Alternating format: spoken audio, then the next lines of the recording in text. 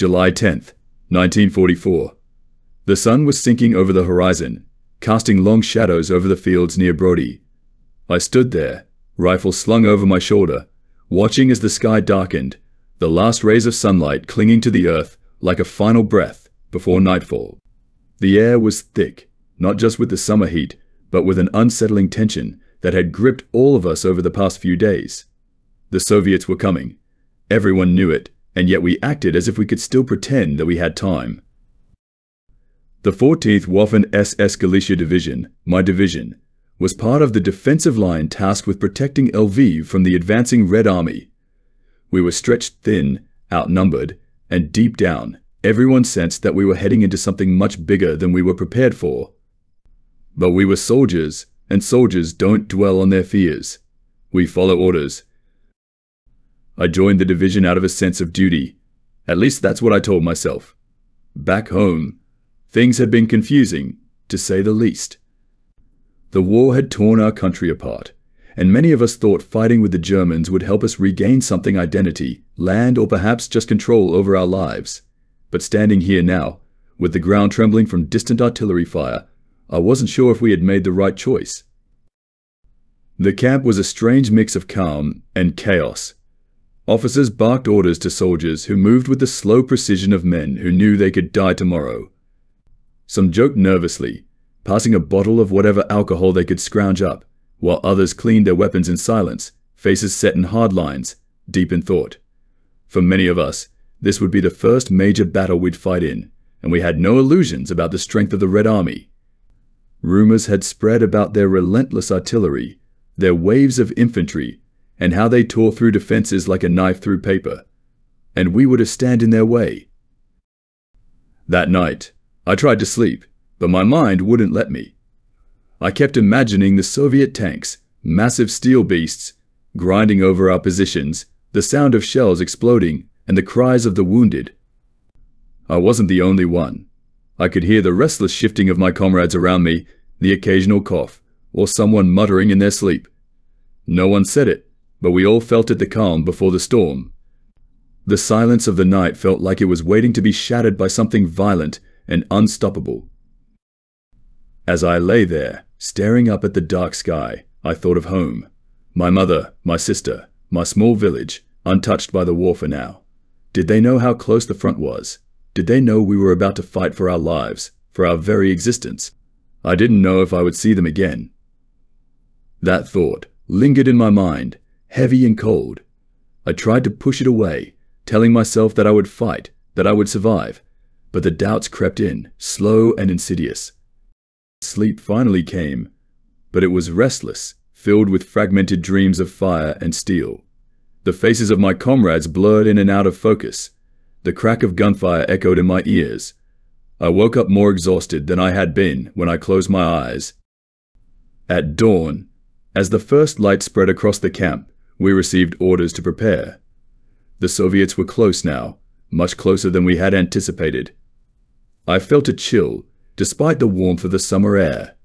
We were moving out, taking up positions to hold the line. As I gathered my gear and checked my rifle, I noticed the looks on the faces of the men around me. They were no longer laughing or joking. The reality of what lay ahead had settled in. We were about to face an enemy that was larger, stronger, and relentless. But we were soldiers, and we had our orders. The ground beneath us trembled again, the faint rumble of distant artillery rolling through the air like a warning. I took a deep breath, trying to steady my nerves. The storm was coming, and there was no stopping it now. As we marched toward our positions, I couldn't help but feel like I was walking into something far larger than any of us could understand. July 13th, 1944. We were dug in near Brody, our position stretched across the rolling fields, blending into the landscape as best we could. It had been a hot, grueling day, and the sun beat down on us relentlessly.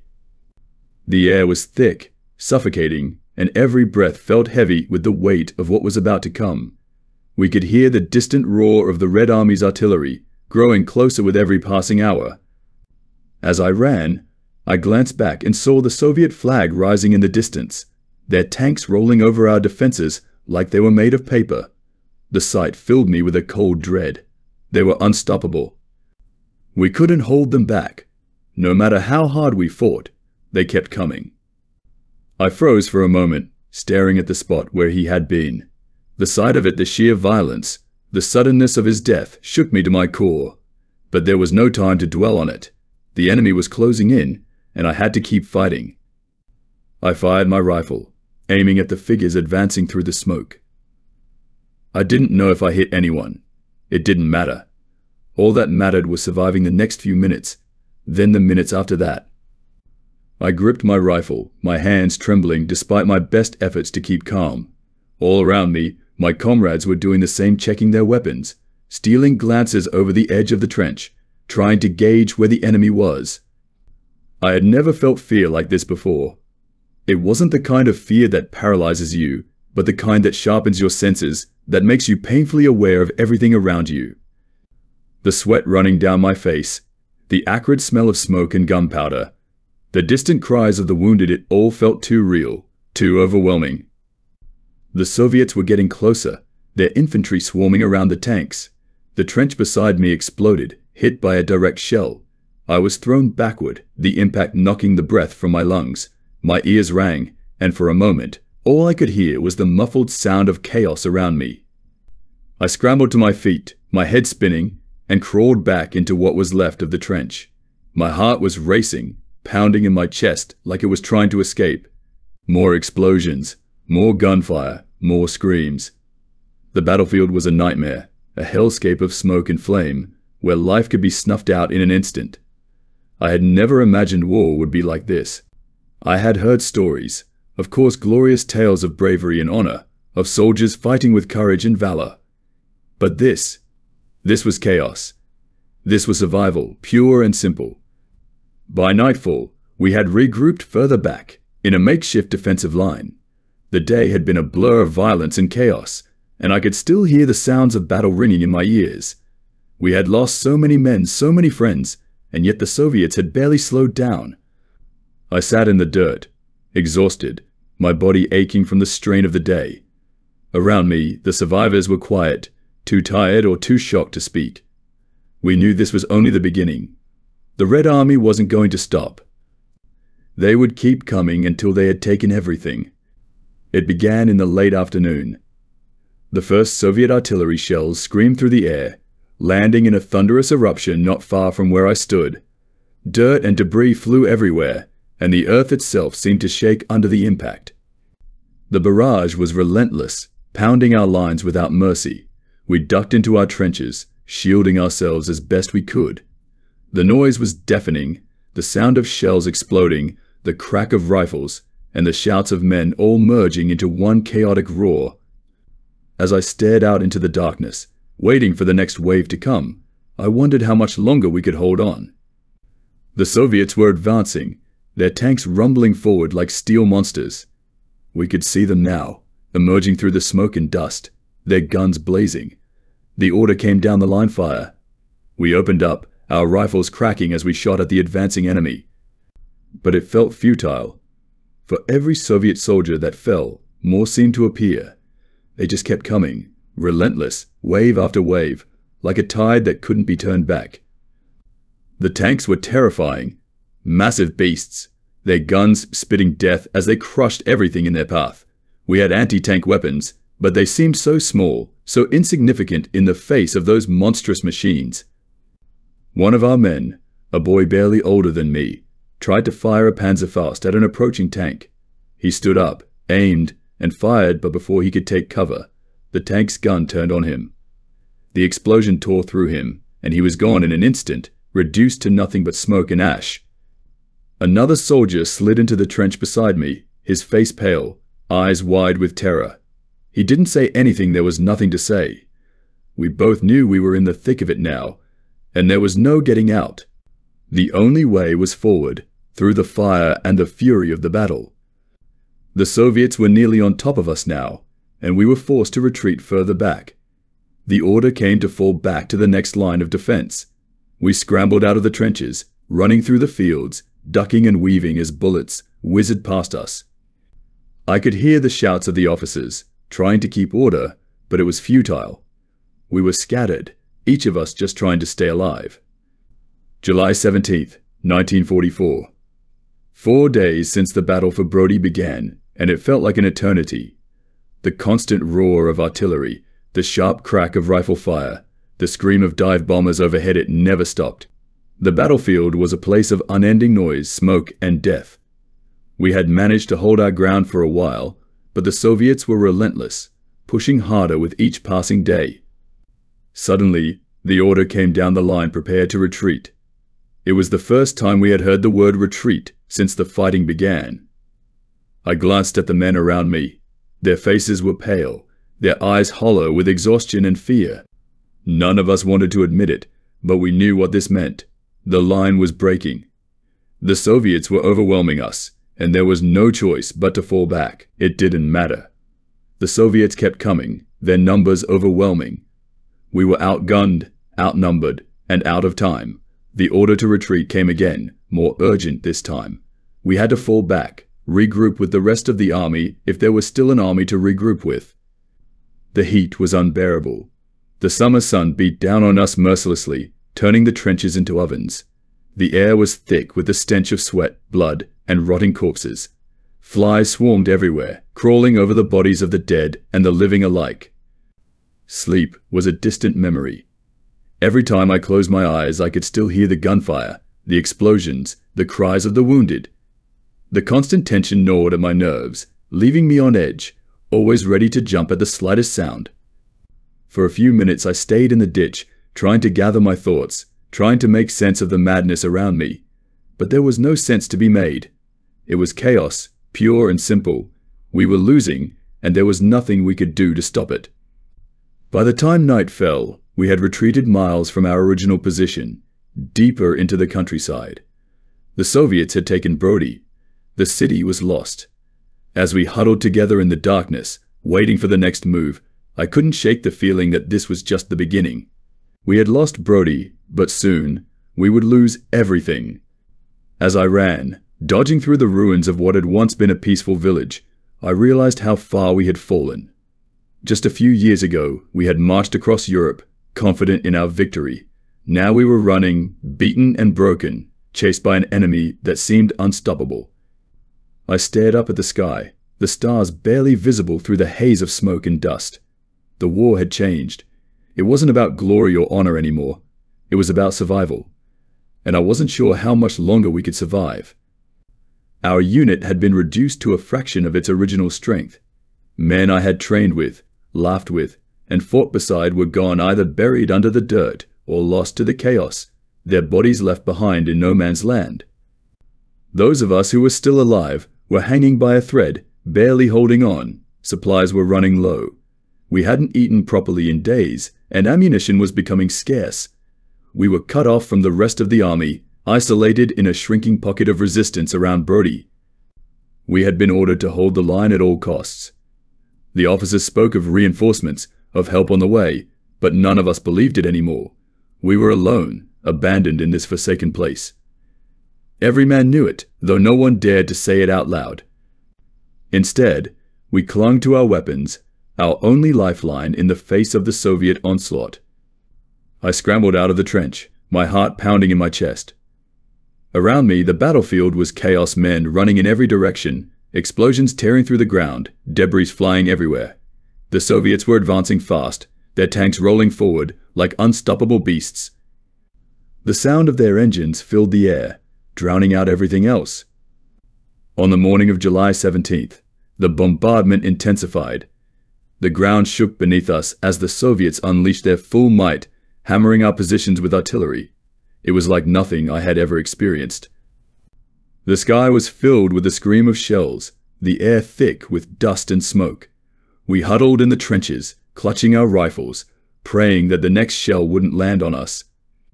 We moved as fast as we could, trying to keep together, but it was impossible. The ground was uneven, churned up by days of fighting, Every step was a struggle. I stumbled, tripping over a broken rifle, and fell hard to the ground. My helmet flew off, and for a moment I lay there, stunned, the breath knocked out of me. Then I heard the sound the deep, rumbling growl of a tank's engine, closer than I had realized. I looked up and saw it, a Soviet T-34, bearing down on me like a monster out of a nightmare. I scrambled to my feet, panic surging through me. There was no time to think, no time to plan. I ran, my legs burning with the effort, trying to get away before the tank crushed me under its treads. I reached a shallow ditch and threw myself into it, just as the tank rolled past, its massive form blotting out the sun for a moment. The ground shook under its weight, and I could feel the vibrations in my bones. I lay there, gasping for breath, my heart racing, my body trembling from the narrow escape. When I finally managed to pull myself together, I crawled out of the ditch and continued moving. The Soviets were everywhere now, their infantry swarming across the fields, firing as they advanced. I heard the sharp crack of a rifle nearby and instinctively dropped to the ground. Bullets whizzed over my head, thudding into the dirt around me. I could see the flash of gunfire in the distance, the figures of Soviet soldiers moving through the smoke. I crawled through the dirt, inching my way toward what remained of our defensive line. There were only a handful of us left by now, a few scattered men trying desperately to hold on. I found a position behind a broken wall and raised my rifle, firing blindly at the advancing Soviets. My hands were shaking, and I couldn't aim properly, but I fired anyway, hoping against hope that I would hit something, anything. As the sun began to set, painting the sky in hues of red and orange, the first wave hit us. Soviet artillery opened up, their shells screaming through the air before crashing down on our positions. The ground shook violently, and I was thrown to the dirt as a shell exploded nearby, sending shards of metal and stone flying in every direction. I scrambled to my feet, my ears ringing, dirt in my mouth, but there was no time to stop. The enemy was already moving in, their tanks rolling across the fields, infantry advancing behind them. I pressed myself against a low stone wall, my rifle trembling in my hands as I aimed at the advancing figures. My first shot missed, my nerves getting the better of me. I took a deep breath, steadied my aim, and fired again. This time, I hit my mark. One of the Soviet soldiers crumpled to the ground, and for a brief moment, I felt a surge of grim satisfaction. But it didn't last. More and more of them were coming, their sheer numbers overwhelming. July 19th, 1944. The exhaustion in our bones had only deepened over the past two days. Retreating across the countryside felt endless, and the whispers among the men were filled with quiet dread. Brody had fallen, and now Lviv was within reach of the Soviet juggernaut. We were told to regroup near the small village of Zlocho, but when we arrived, we found nothing but shattered remnants of other units, all just as broken as we were. Just as I thought it was over, I heard a distant roar. At first, I thought it was more Soviet artillery, but then I realized it was the sound of engines. Tanks. German tanks. Reinforcements had arrived, after all. The Soviets were pouring into the village now. Our line was breaking. I could hear the shouts of our commander, urging us to hold, to fight to the last bullet, but it was useless. We were being overrun. I fired my rifle until it was empty, then drew my sidearm, knowing that this was the end. The Soviets were everywhere, their figures moving through the smoke like ghosts. Our commander, a hard-faced man who had been in the Waffen-SS since the beginning, paced back and forth in front of us, his eyes burning with defiance. We hold the line here, he barked. We do not retreat. We fight until the last man, for the Reich, for our brothers who have fallen. Our machine gun nest had been set up in the church tower, and it had been the only thing keeping the Soviets from overwhelming our position entirely. But now, with the tanks moving in, it was just a matter of time. I glanced up at the tower and saw the muzzle of the machine gun spitting fire, cutting down waves of advancing soldiers. Then, suddenly, there was a blinding flash, followed by a deafening boom. The tower exploded in a shower of stone and dust, the machine gun silenced. There was no cheer, no shouts of agreement. We simply nodded, gripping our weapons tighter, bracing ourselves for what we all knew was coming. I had been in battles before, but this felt different. This wasn't just a fight for a strategic position. This was a fight for survival, for our very lives. The roar grew louder, and I saw them panthers, their guns blazing as they charged into the village, cutting through the Soviet lines like a hot knife through butter. The tide of battle shifted almost instantly. The Soviets, caught off guard, began to fall back, their advance broken. For the first time in days, we were pushing them back. Zorkso was a quiet place, or at least it had been. Its streets were now littered with debris, and the few remaining civilians scurried in and out of sight, eyes wide with fear.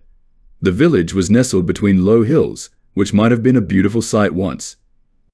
Now, they were nothing but traps, places where the enemy could set up artillery or tanks to rain down fire on us. We were holding them back, but just barely. The sound of gunfire was deafening, and the air was thick with smoke and dust. My comrades were falling all around me, some with cries of pain, others silently, their bodies slumping to the ground like discarded dolls. I fired again and again, each shot feeling more futile than the last. By the time we set up defensive positions, it was already late afternoon. The air was heavy with the smell of burning wood and the distant rumble of Soviet tanks. It wasn't long before the rumble grew louder, and we could see them dark shapes on the horizon, slowly advancing toward us. There was no hope of reinforcements this time, no talk of retreat. We were going to make our stand here, in this forgotten village, against an enemy that outnumbered us 10 to 1. Then the tanks reached the edge of the village. Their cannons roared, and I watched in horror as the building next to me was torn apart in an explosion of flame and debris. I dove for cover, my heart pounding in my chest.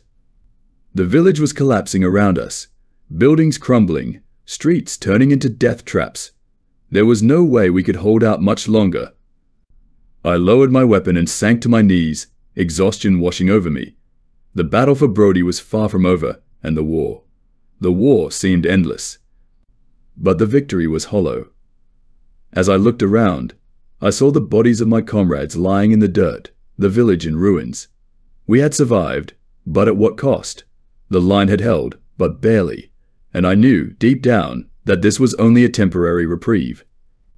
The Soviets would be back, and next time, we might not be so lucky.